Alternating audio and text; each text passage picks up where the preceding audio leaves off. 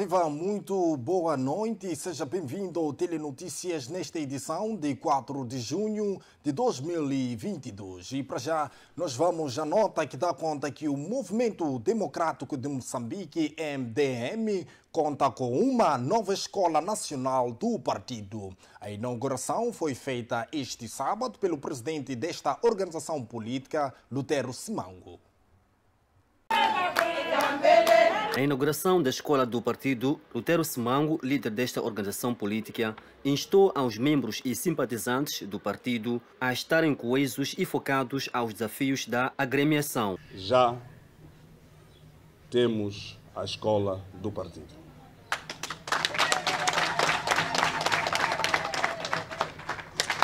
A escola vai funcionar no regime que aqui foi anunciado e esperamos que todos os quadros nacionais passem pela formação política e ideológica.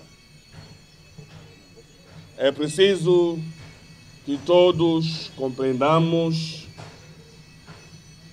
de uma forma única os objetivos, princípios e a visão do partido. No outro desenvolvimento, Lutero Simango lamentou o estágio atual do Sistema Nacional da Educação no país. Os últimos acontecimentos no nosso país na área da educação, no que toca no livro. A inauguração da escola do partido, Lutero Simango, líder desta organização política, instou aos membros e simpatizantes do partido a estarem coesos e focados aos desafios da agremiação. Já temos a escola do partido.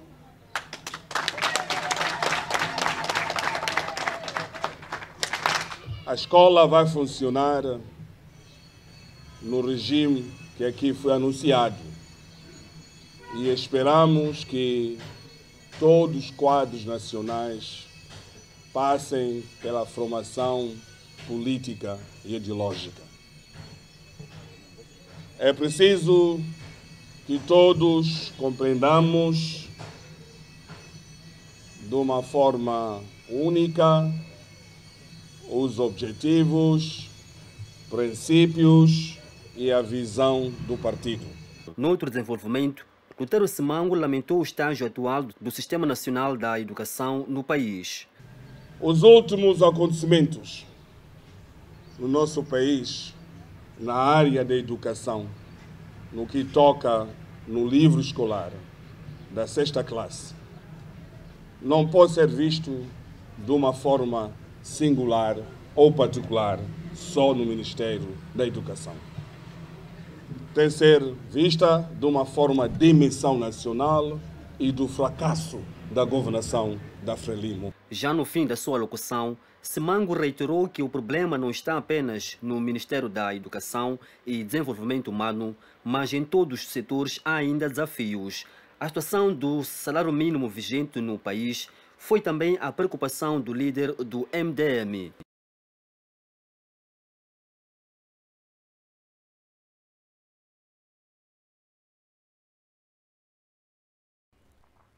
O presidente do Movimento Democrático de Moçambique exonerou Josias Macuacua do cargo de delegado político da cidade de Maputo. No seu lugar, tomou posse Osvaldo Quamba. O empossamento da nova delegada política ao nível da cidade de Maputo acontece numa altura em que se avizinham as eleições autárquicas de 2023 e as presidenciais em 2024. Josias Macuacua delegado cessante, disse deixar o cargo com o sentimento de missão cumprida, apesar de não ter cumprido o seu mandato. Nos dois anos, tudo fizemos. No mandato dos cinco anos, mas pronto, não foi possível chegar até lá. As razões, ninguém sabe. Na ocasião, o presidente desta formação política, Lutero Simango, deixou recomendações à empossada. São palavras de encorajamento, são palavras de assumir a liderança da cidade de Maputo com determinação, com coragem, porque nós queremos operar mudanças aqui na cidade de Maputo. O IPAS Moçambique é a instituição que trabalha para promover a justiça reprodutiva, aponta as mulheres como principais vítimas de eventos climáticos que afetam o país.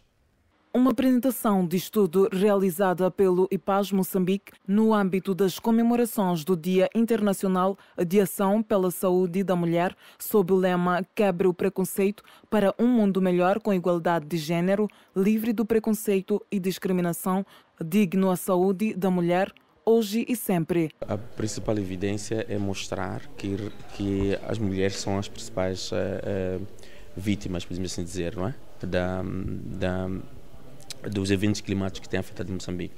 Está demonstrado uh, com este estudo que gran, uh, uma grande atividade que é agrícola é praticada por mulheres e em zonas de risco uh, para, para desastres naturais. Neste caso, o caso de cheias e o caso de, de, de, secas e ciclones. Não é? Então, o que este estudo mostra é que é preciso fazer intervenções que realmente olham para o grupo de maior risco. E neste caso são as mulheres. Quanto às lições adquiridas através desses eventos climáticos, o diretor desta instituição em Moçambique, Jorge Matini, acrescenta. Eu penso que a primeira lição que fica é de que é preciso direcionar a, é, programas de mitigação que olham para, para, para o nível de risco e de vulnerabilidade que as populações eh, têm. E nesse estudo foi demonstrado que grande parte, por exemplo, nos centros de assentamento ficam mais mulheres que homens. Primeiro porque as mulheres, os homens ficam muito pouco tempo nos centros, não aceitam a ideia de que podem ficar lá por muito tempo, então saem à procura de emprego outras zonas. As mulheres não ficam. Primeiro porque as mulheres ficam porque têm crianças e os centros como são aqueles que podem disponibilizar, por exemplo, a questão da, da educação durante o período que as crianças aconteceu, então as mulheres ficam com as crianças. A outra questão também que ficou é, demonstrada é que grande parte dos centros não têm serviços de saúde direcionados para mulheres.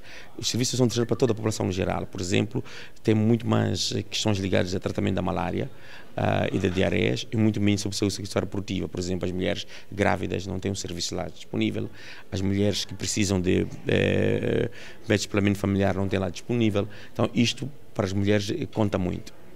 E sobre o ponto de vista de estudo realizado Sim, este estudo foi também feito em conjunto com organizações uh, locais e também com instituições do, do governo que trabalham na área de, assistência humanitária. E ficou claro que é preciso coordenar melhor, que é preciso fazer estudos mais aprofundados também, porque não é suficiente. Este estudo foi centrado muito em três distritos da Zambésia, poderíamos fazer mais, mas não conseguimos. E fica claro que é preciso que envidemos esforços porque também mostra estudos que há mulheres que hoje são têm 40 anos e nos últimos 25 anos, cada ano enfrentaram um evento eh, climático bastante extremo, não é? Ou calor, que destruiu, que não permitiu fazer uma produção agrícola melhor, ou cheias, ou, por exemplo, ciclones que destruíram a casa dela. Então, significa que em, em, quase 20 anos de vida, ela cada ano teve que, teve que enfrentar isto. Isso significa que no, estes eventos, eh, acima de tudo, eh, aumentam as desigualdades sociais. Continuamos a trazer mais notícias nacionais. O Ministério do Gênero, Criança e Ação Social afirma que 1 milhão e 800 crianças estão diretamente envolvidas com trabalho infantil. O chefe do Departamento de Comunicação do Ministério falava durante uma entrevista nesta sexta-feira. Cortadas a vontade de sonhar, estudar e até os seus direitos. É nesse âmbito que o Ministério do Gênero, Criança e Ação Social vem como órgão do governo com ações estruturadas de forma a combater este mal que serve de terror aos petizes. O Ministério do Gênero, Criança e Ação Social é um órgão do governo e as suas ações são ações estruturadas dentro do instrumento que é orientador, estamos a falar da Política Nacional de Ação Social, estamos a falar do, dos outros instrumentos como a Constituição da República e falamos também do, do, do, Plano Nacional de Ação da Criança, que este instrumento, de certa forma, é estruturado em quatro áreas principais. Tem a ver com desenvolvimento, proteção, tem a ver com a componente de saúde e nutrição e tem a outra parte que é, que tem a ver com a, a saúde da criança. As crianças podem ser encontradas em várias áreas de trabalho, diz o chefe do departamento do Ministério, Vladimir Nomier. Um papel neste, neste, neste, neste instrumento multissetorial. E podemos observar que a, a, a maior parte das crianças que frequentam na, na rua ou que praticam comércio informal são crianças que vêm das outras áreas, como áreas perurbanas ou até áreas como outras províncias que acabam engrossando aquele movimento da cidade. Uh, é importante também uh, trazer aqui que, ao nível nacional, existe um, um, universo de cerca de 1 milhão e 800 crianças que estão envolvidas em trabalho infantil. Nomier fala igualmente do número de cerca de 1 milhão e 800 crianças que estão envolvidas no trabalho infantil. E vamos encontrar essas crianças tanto no comércio informal, no trabalho doméstico, vamos encontrar também na pesca, vamos encontrar essas crianças ao nível de extração de minérios e de pedras, na civicultura e entre outras áreas. Então, esta preocupação, nós como setor de gênero criança social, faz com que, dentro das nossas estratégias de ação, olhemos para essas famílias que estão na situação de vulnerabilidade, que são as mais propensas em, em suas famílias, sobretudo seus filhos, serem aliciados a praticar o comércio informal. Moradores do bairro de Maguanini, a na cidade de Maputo, clamam pela intervenção da Polícia da República de Moçambique face à onda dos roubos na calada da noite. Roubos e assaltos fazem o dia a dia dos moradores do bairro de Maguanini, na capital do país. Quase todos os moradores, os que passam pela Praça da Juventude, tem uma história para contar sobre a atuação dos chamados amigos do alheio. Roubos em residências e na via pública ocorrem de dia e de noite. São episódios de violência que marcam a vida para quem reside e procura pelo transporte naquele local. Segundo as fontes ouvidas pela FTV, os jovens deslocam-se de outros bairros para roubar no bairro de Maguanini. Mesmo eu estou a vender aqui no Maguanini, todos os dias aqui a choro. A pessoa, às vezes, quando quer subir chapa aí, carteira, arranca, fica arrancado carteira, telefones, documentos. Às vezes nós aqui apanhamos documentos e carteira sem nada, e bolsa, muitas coisas. Às vezes chinelo mesmo. A pessoa tenta fugir, os roubadeiros a pôr para o muro daqui, da traje. Isso acontece, isso já não é novidade aqui no Maguanene. Todos os dias roubam telefones, roubam carteiras, arrancam bolsas. Até aqui dentro desse muro aqui. Quando, quando, quando mandaram uma criança para vir fazer rancho aqui no mercado, as crianças quando entram, ou pode ser jovem, ou pode ser senhoras, quando entram aqui dentro do muro a irem para casa, há ladrões que perseguem aqui dentro aqui, chegam ali talvez com uma faca ou com uma coisa qualquer, faz isso na criança, a criança tem que entregar tudo o que tiver.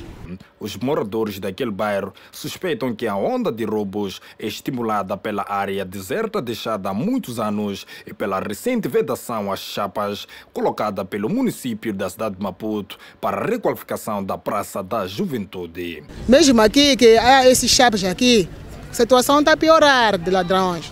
Porque aqui, às vezes, quando as pessoas vêm de lá, ladrões arrancam a carteira, a, a saltar aqui, porque há um buraco aí que tiraram a chapa, fugir por aqui por dentro com o telefone de, de pessoas. Exato. É. Mas antes era mais ou menos, agora que tem esses problemas de chapa aqui, situação de roubo, está a piorar. Exato. Naquela hora das 17, nas paragens, fica muito cheio por ladrões. E esses ladrões, e não é daqui de Maguani, são, às vezes, vêm ladrões de, de Esquelene. Chegou às residências e ninguém escapa. Os assaltantes, segundo moradores, em plena luz do dia, roubam telemóveis, carteiras, perucas, entre outros artigos. Há roubos de telefone, perucas, muitos assaltos. Quando roubam, entram aqui dentro aqui. Exato. Sim. Mas isso acontece apenas de, apenas de noite? De... À noite, de, de dia, mesma coisa. Nunca mesmo apanhava agora, passou só cheira aqui. Pode aparecer ladrões, roubar de dia mesmo. Ok. Hum. No bairro, existe o posto policial, já há longos anos instalado e reequipado. Entretanto, os moradores dizem que os agentes da polícia não os protegem. Nunca apanharam ninguém? Ah, às vezes vem polícia pegar, depois de dois, três dias, depois aparece do... amanhã de novo em roubar aqui. A polícia tem feito a sua fiscalização, né? Sim, sim, sim, faz, mas é a mesma coisa. Se lhe pegam hoje, amanhã, onde vir roubar de novo. O Fórum da Sociedade Civil para Crianças exigiu esta sexta-feira a responsabilização dos eventuais culpados pelos erros detectados em manuais escolares no país. O governo deve usar o relatório produzido pela Comissão Independente da Auditoria para responsabilizar coletiva individualmente os que, direta ou indiretamente, não evitarem que os livros fossem editados com os erros identificados ao longo da cadeia de produção dos livros escolares. Refere um comunicado do ROSC enviado à Lusa.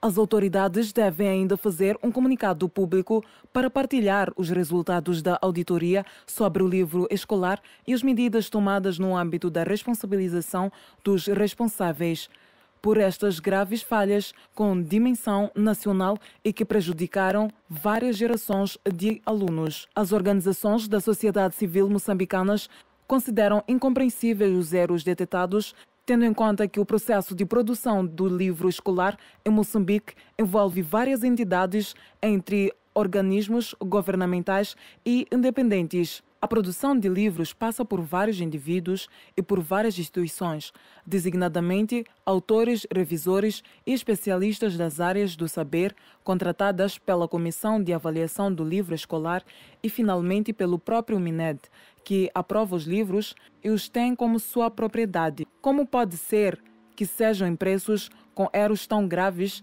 exclama o ROSC. Há que referir que nesta quinta-feira a ministra da Educação e Desenvolvimento Humano de Moçambique disse que o livro de Ciências Sociais da sexta classe será retirado das escolas devido a erros inaceitáveis e inadmissíveis detectados nos manuais Ainda na atualidade nacional, vamos à notícia que dá conta que o vereador de Planificação e Finanças destacou a aquisição de 10 viaturas para o Conselho Municipal e a recepção de 382 denúncias por poluição sonora, à margem do segundo Observatório Municipal.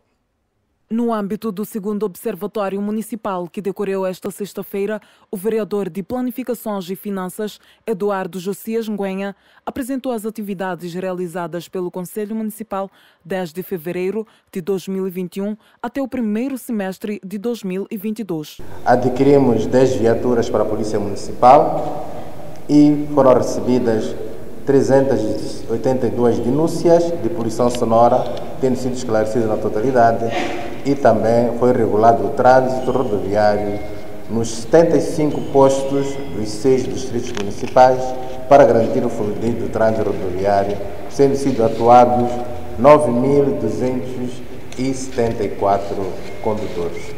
No que diz respeito à descentralização e boa governação e combate à corrupção, Nguenha refere. Foram feitos nos, distritos, nos sete distritos municipais 34 novos técnicos qualificados, foi reforçada a segurança através da integração de 233 agentes da Polícia de Segurança Autárquica, dos quais 73 destacados à PRM, 160 ao sexto curso de agente da Polícia Municipal. Também foram realizadas auscultações públicas para a criação da postura de ciclomotores e veículos velocípedes e foram elaborados e apresentados qualificadores de carreiras dos funcionários do Conselho Municipal. Em relação ao combate à corrupção, destacamos que realizamos 24 palestras de combate à corrupção e a promoção de valores de integridade ética profissional, abrangendo 638 participantes. Também divulgamos a nossa linha verde para o serviço do município em diversas formas, como panfletos, plataformas sociais, inquéritos, palestras e auscultações aos municípios. Realizamos 28 sessões ordinárias e 122 extraordinárias dos Conselhos Consultivos Distritais e dos bairros municipais. Também realizamos 452 visitas de trabalho de campo para averiguar as preocupações submetidas pelos municípios ao gabinete de provedor do município. Destacou ainda no setor de desenvolvimento social e humano o seguinte: Na área da educação, distribuímos 445.390 livros escolares para um universo de 169.093 alunos e apetrechamos sete bibliotecas escolares com 839 livros de ensino e aprendizagem. Foram também revitalizados nas escolas primárias 20 núcleos antidroga, antitabaco e foram capacitados 20 professores para dinamizar os respectivos núcleos e também foi distribuído material desportivo a 17 núcleos de escolas de ensino primário em todos os distritos municipais, num total de 449 itens. Na área de saúde, foram reabilitados cinco centros de saúde, nomeadamente Centro de Saúde de Romão, Centro de Saúde de Bagamoio, de Albazine, Centro de Saúde de Mucheca e também do bairro dos Pescadores. E foram alocadas duas ambulâncias para as unidades sanitárias. Também foram testados neste período 49.940 pacientes, dos quais 5.188 foram positivos para a malária e 1.644 para a componente da tuberculose e também capturados 751 animais na via pública em todos os distritos municipais, o que corresponde a uma cobertura de 75% da meta estipulada. Angola vai ter eleições gerais no dia 24 de agosto. O presidente João Lourenço anunciou a data no Conselho da República, órgão consultivo que reuniu esta sexta-feira e aprovou a proposta do chefe de Estado. Esta é uma nota para conferir na segunda parte do Telenotícias. Mas para já vamos a uma curta pausa, mas antes confira a previsão do estado de tempo para o dia de amanhã, 5 de junho de 2022. A zona sul do país, Maputo, vai restar uma máxima de 23 e uma mínima de 14. Xexai vai restar uma máxima de 24 e uma mínima de 16. Inhambane vai restar uma máxima de 25 e uma mínima de 20. Zona centro do país, Beira, vai restar uma máxima de 23 e uma mínima de 18. Chimoio vai restar uma máxima de 21 e uma mínima de 13. Tete vai restar uma máxima de 28 e uma mínima de 16. Quilimani vai restar uma máxima de 25 e uma mínima de 17. Zona norte do país, Nampula, vai restar uma máxima de 23 e uma mínima de 17. Pemba vai restar uma máxima de 26 e uma mínima de 22. Lixinga vai restar uma máxima de 20 e uma mínima de 10.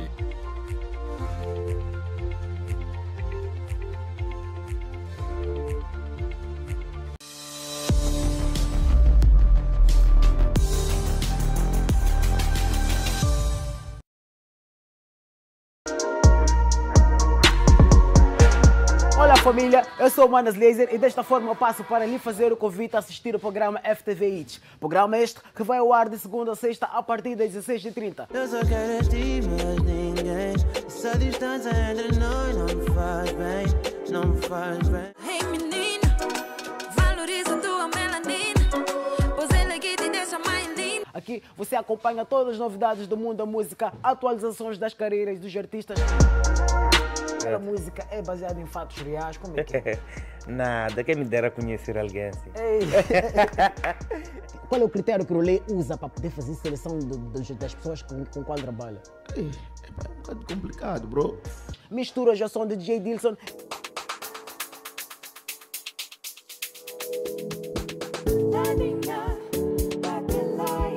Vídeos e muito mais.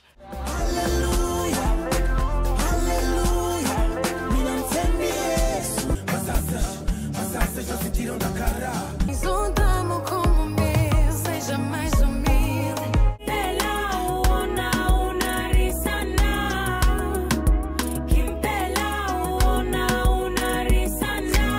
Fiquem sempre ligados ao bom do entretenimento aqui no programa FTV Hits, na televisão FTV.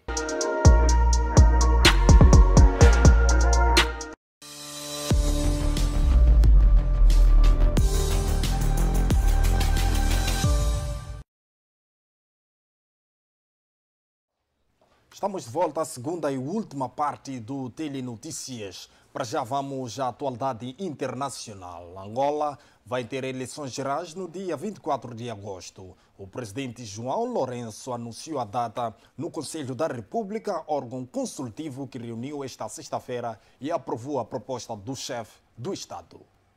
Apesar da data do sufrágio só agora ser conhecida, a pré-campanha eleitoral há muito que está na rua. O líder da UNITA na oposição, Adalberto da Costa Júnior, afirma que o tratamento dado aos partidos é desigual. Os competidores de um desafio eleitoral não têm valências diferenciadas. A lei coloca-os a todos nas mesmas circunstâncias, assim diz a nossa Constituição. Assim dizem as leis mas como qualquer cidadão sério e honesto avalia. Nós estamos num processo de aproximação eleitoral absolutamente de violações às leis. Uma acusação que Rui Falcão Pinto de Andrade refuta. O membro do bureau político do partido no poder afirmou à Euronews que o MPLA tem mostrado capacidade de organização, enquanto a oposição vê fenômenos que não existem e expressou o desejo que o sufrágio decora com a maior normalidade possível. João Lourenço foi eleito a 23 de agosto de 2017 e é candidato a um segundo mandato. Será a quinta vez que os angolanos vão a urnas desde 1992. Face aos receios de escassez de alimentos a nível mundial, Vladimir Putin veio garantir que Moscou vai bloquear a saída de cereais a partir dos portos no Mar Negro. Não há obstáculos às importações a partir dos portos sob controle ucraniano de Odessa ou outros na região, uma vez que explica foram os ucranianos a minar essas águas. Putin garantiu, assim na televisão estatal russa, que do seu lado os transportes de cereais têm passagem segura, sem no entanto mencionar um compromisso formal nesse sentido. Recorde-se que Rússia e Ucrânia representam cerca de um terço do fornecimento mundial de trigo. Por exemplo, e que mais de 40% desse cereal é importado pelo continente africano. O presidente senegalês e líder da União Africana, Macky Sall, encontrou-se com Putin em Sochi para transmitir precisamente as preocupações em torno do risco agravado de fome em vários países, onde os preços destes alimentos têm sofrido aumentos na ordem dos 45%. Segundo os representantes das Nações Unidas, há um acordo em vista que pode também envolver a Turquia. O porta-voz Stepan Dujarric realçou que tem havido tomadas de posição prometedoras a surgir de várias capitais, mas ainda é cedo para falar em datas ou num calendário. Outro possível caminho passa pela Bielorrússia. O presidente Alexander Lukashenko diz que pode autorizar a passagem de cereais ucranianos rumo ao Mar Báltico, caso os produtos belorussos também possam ser escoados. A notícia que acabamos de acompanhar dava conta que, face aos receios de escassez dos alimentos ao nível mundial, Vladimir Putin veio garantir que Moscou não vai bloquear a saída de cereais a partir dos portos do Mar Negro. E para já, vamos à nota que dá conta que cerca de um quinto do território ucraniano encontra-se sob domínio russo, como já reconheceu o presidente Volodymyr Zelensky.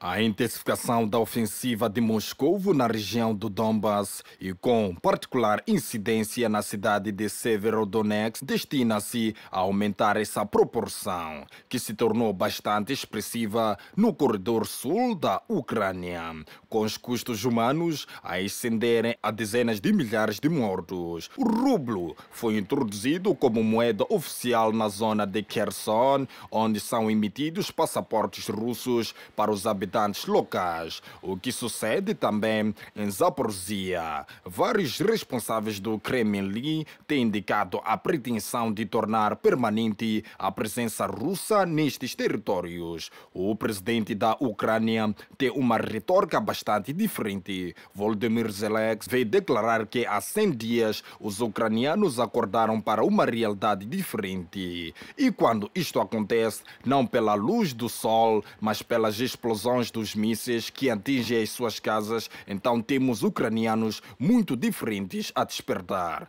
Zelensky sublinhou também as três seguintes palavras: paz, vitória, Ucrânia. Os Estados Unidos da América anunciam um período de três semanas para treinar as forças ucranianas a usar os novos sistemas de mísseis que chegaram ao país. O coordenador da ONU para a Ucrânia, Amir Awad, afirma que esta guerra não tem nem terá um vencedor. Com esta nota colocamos um ponto final à presente edição do Tele Notícias nesta eh, hora, neste, eh, hoje dia 4 de junho de 2022. Nós voltamos amanhã, quando forem 19h30, com as notícias nacionais, internacionais e também desportivas. Fique bem e cuide-se e até amanhã.